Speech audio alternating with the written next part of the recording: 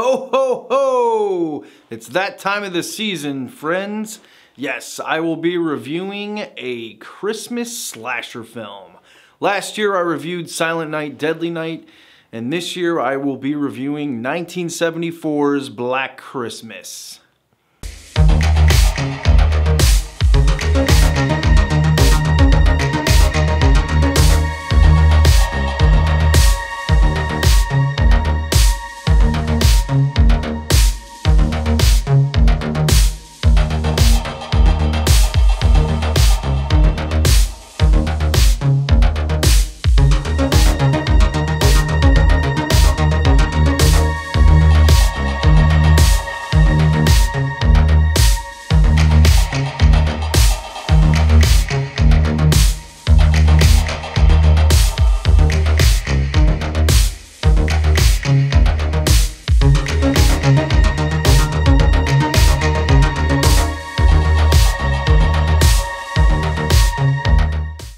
Black Christmas was directed by legendary director Bob Clark.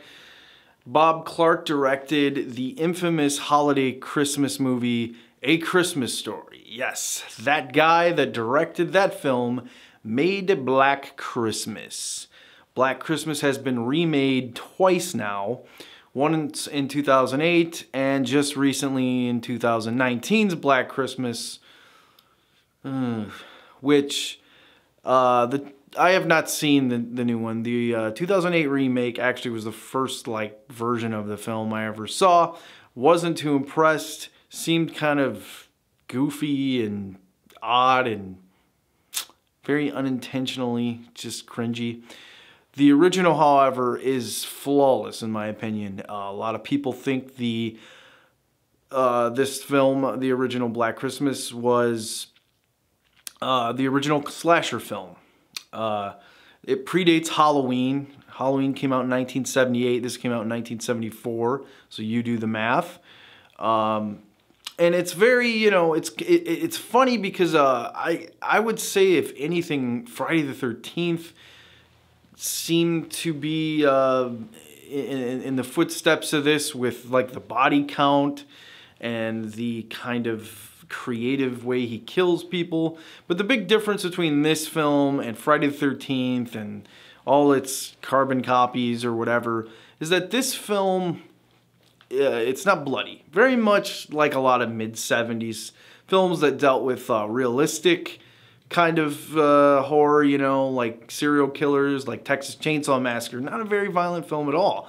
This film, uh, it's the same way, but the way the kills are portrayed and the way the actors, your actresses, you know, perform how they're getting murdered in their scenes, it, it, it's really unsettling. Like one of the images that's pretty much synonymous with the whole film series is the plastic bag suffocation scene where he strangles a woman with like a bag over her head and he sets her in an attic. That's kind of what this killer does. He, he takes you and he puts you in an attic of this sorority house, which obviously is on a campus during Christmas time.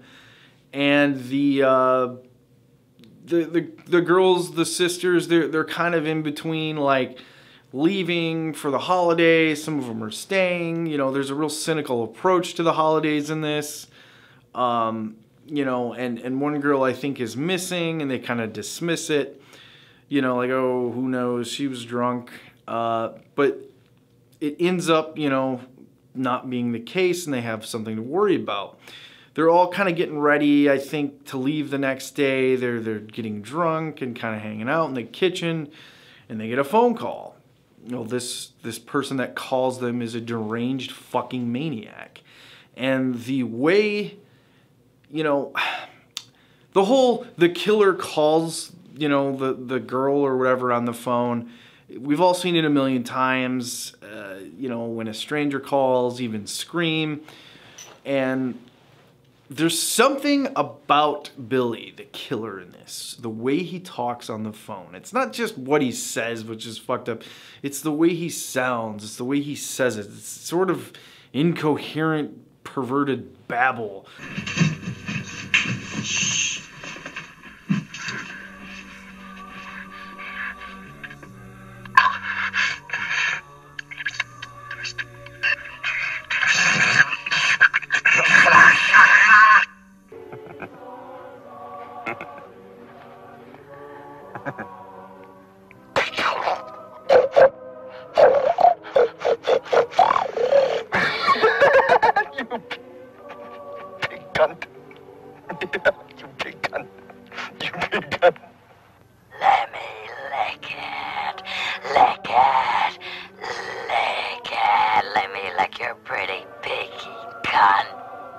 That really, really, really gets under your fucking skin and sets the tone for the film.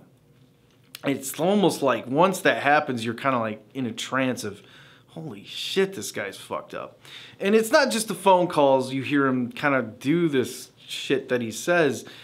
It's, you know, it's just like POV shots, which, you know, they were doing POV shots like this in 74 you know, it, it, it definitely to me has to be kind of you know the set the set the you know the, the way to make a slasher film. I mean, that's what it really kind of seems to me.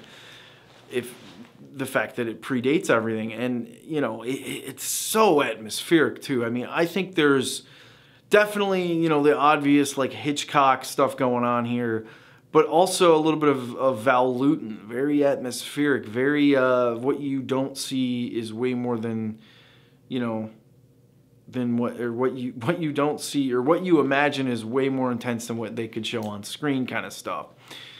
Um, and it's just like you know, it's just the this, this the weird little things in it that really get to you, like the way you know the camera will just kind of pan over and, and how it'll show the exterior of the sorority house with the christmas lights going and the desolation of winter and the holiday season. Uh, very very eerie stuff man. I, I, it, it's funny how they remade this film and tried to be excessively gore gory and try, you know and now they're trying to kind of make it like sort of like an action film or something where that's not the case. That's not what made this film work so well. It's it's just it's just craft. It's just Bob Clark crafting the shit out of you know a film and, and making it a scary holiday film.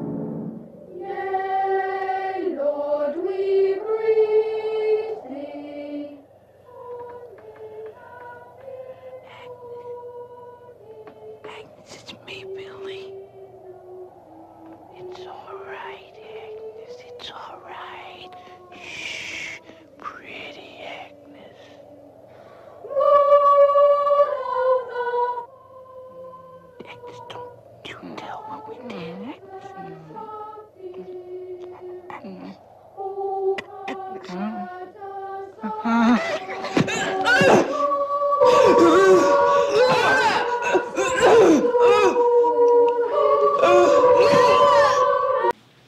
Bob Clark also was no stranger to the horror genre. He made a uh, a zombie film. I believe it was '79. Uh, you know, called "Children Shouldn't Play with Dead Things." Actually, maybe it was not '79. But yeah, I mean, he was no stranger to doing this um, kind of stuff. So, you know, this this is this is a very underrated film. Even though it's been remade and a lot of slasher fans and horror fans they know about this film, but it's very underrated as like man this this was like done so well, uh, especially for its time, but also you know it being you know the catalyst. It, I don't know. I can't say enough about it. it it's so damn well made.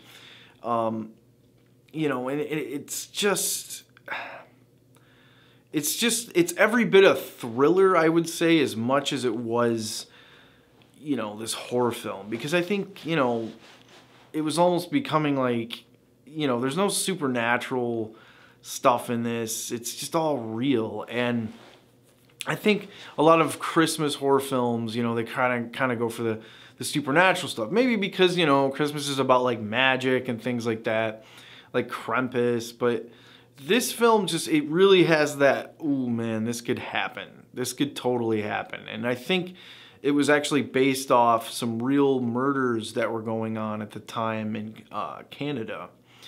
Uh, so you know, it, it it's it's different. It, it's it really really is in high regard for a slasher film in my opinion. Like it doesn't even feel like it. I mean, there's this sort of you know one uh, one by one body count thing going on in the you know where he's killing the sorority girls and and even cops and and you know and you it's funny because like a lot of this like you'll see like you know the the whole like oh there's a there's a body he got him you know? You don't really see the the murder happen but you just see the aftermath.